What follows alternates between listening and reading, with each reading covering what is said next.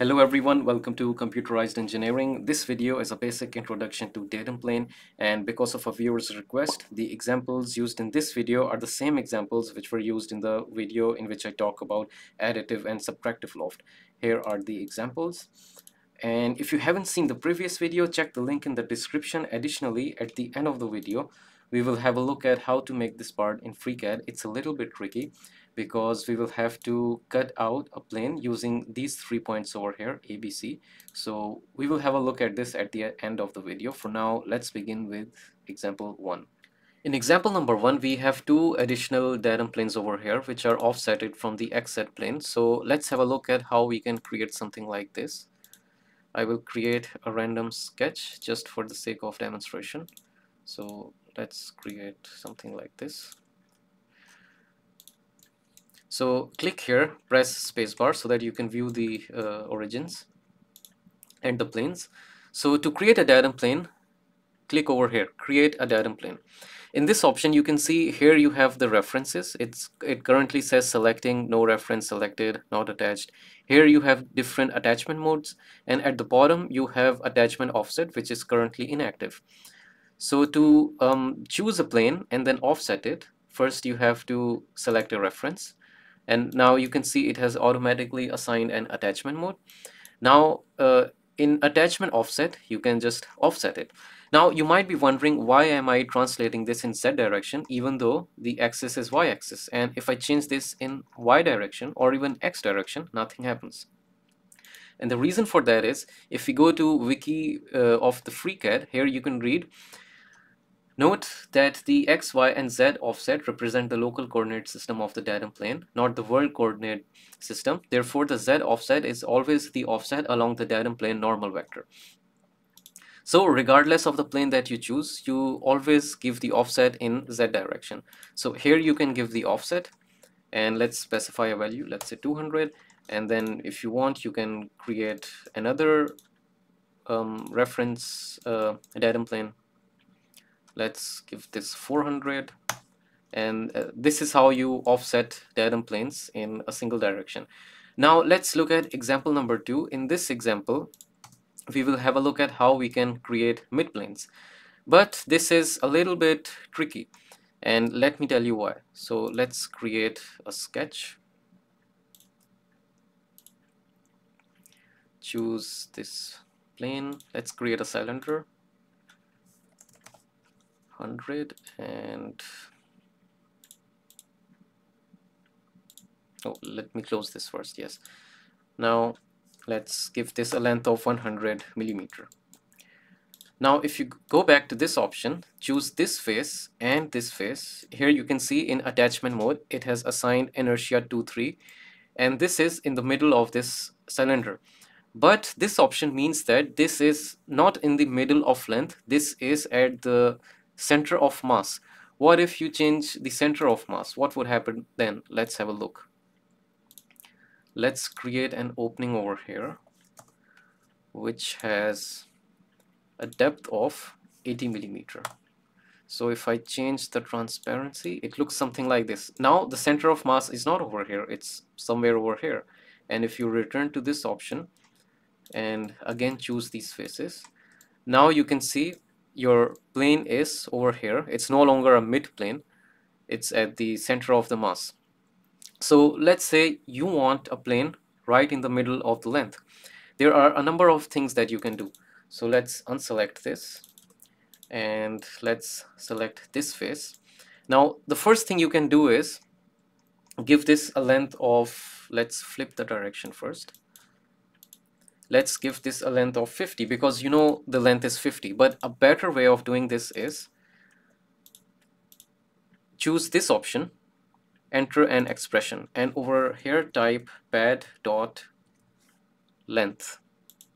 Here you can see it gives you the result that this pad has a length of 100 millimeter. Now you can divide this by 2 but you also have to enter the units 2 millimeter. Okay. Now you can see this is in the middle of uh, this cylinder and if I okay this and let's suppose I change the uh, length of the pad let's say I make this 50 so you see this is now updated So this is how you can create midplane. You can also use this option to specify some other type of instructions. Let's say you can also put um, plus 2 millimeter or minus 2 millimeter depending how you uh, how you want to model a specific part. So I will not really be covering this example because as you can see there were no additional datum planes created and this is very simple to make. I hope you can make this and it won't be a big issue. Instead, let's move on to this example. Now let's look at the final example, how we can create this in FreeCAD using uh, these three points to cut this out. So let's begin by creating a new document, tasks, create body, create sketch. And let's begin by creating this rectangle over here, which is 88 by 50, and it has a thickness of 18.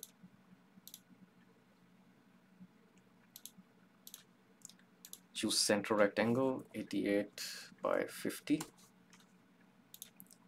and give this a length of 18 so next we will create this shape on the top of this rectangle. So select this face and start your sketch. Choose this rectangle and in order to latch this rectangle choose this option create external geometry and select all of these edges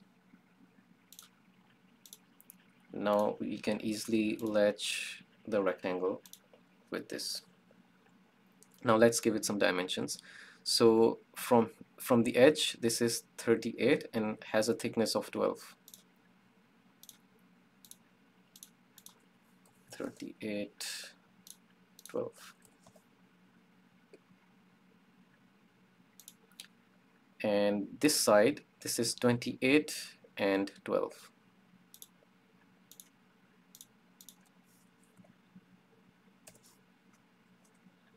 since both of these are equal I will control select these two and make them equal. Now our sketch is fully constrained but we have to trim some of the edges. So for that go over here trim edge and trim the extra edges. Now our sketch is under constraint and we have to fix it.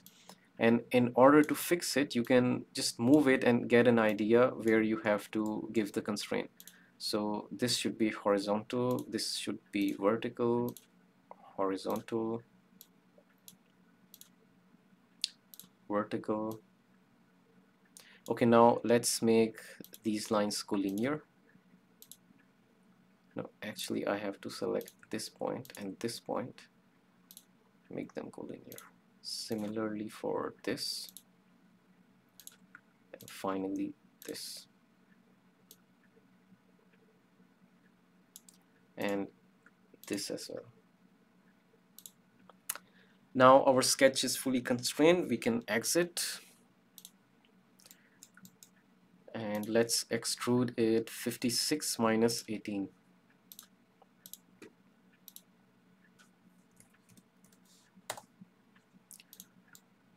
okay now we are almost towards the end of the sketch. We just have to create these three points. Let's start with point A so point A is located on this line and it has an angle of 45 degrees from point C.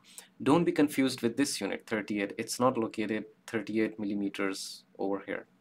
So let's create point A. Select this face start your sketch.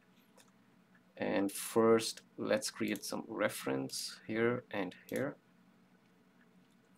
Uh, toggle the construction geometry on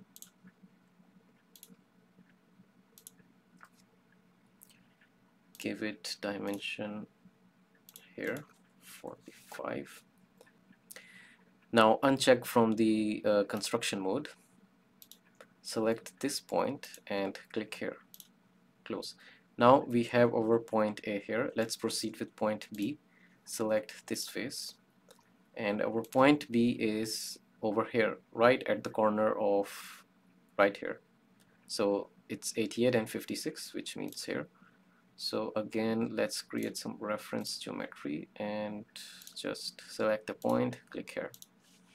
We have our point B. Now finally, let's make point C, which is at the corner over here select this face start the sketch create reference geometry and click here close now we have all three points let's proceed with making a datum plane so go here and select each point A B and C. Now you can see this has automatically selected plane by three points for you.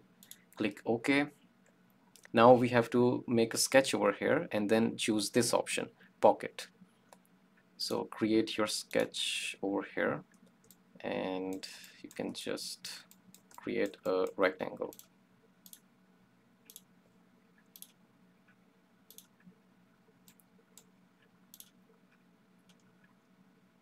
hide datum plane and this is the final part you can just view it side by side Thank you for watching this video. If you have a specific request, make sure you comment below and I will surely consider it. Take care and see you in next video.